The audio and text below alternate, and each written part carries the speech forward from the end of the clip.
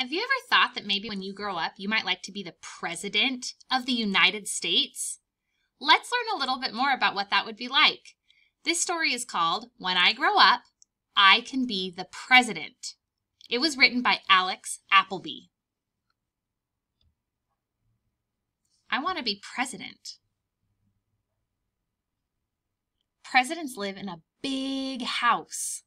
It's called the White House has many rooms. I noticed that this room looks like it's getting ready for a special day. Do you see some decorations in this room? Wow, it's very beautiful. I love the blue room. Look at all the blue things in this room. Wow, this room looks so fancy. It also has a large garden. I think this would be my favorite part of being the president. I love to be outside in the garden. Presidents meet many people. Look, this president is giving high fives. Some are important leaders. This is our president meeting some important leaders. Others are big stars. This is our president meeting a famous singer.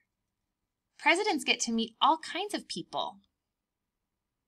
Presidents work in a big office.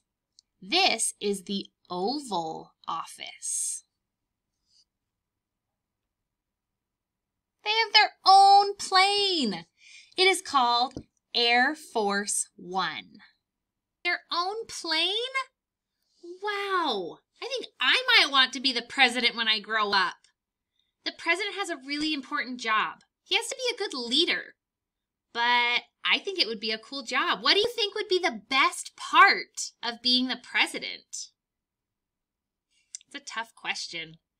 Well, I hope you enjoyed reading about the White House with me today. You can subscribe down below so that we can read more stories together. I have a lot of stories that I would like to read with you. And there's some links down there too if you want to learn more about me and about virtual preschool. All right, friends, I'll see you next time. Bye-bye.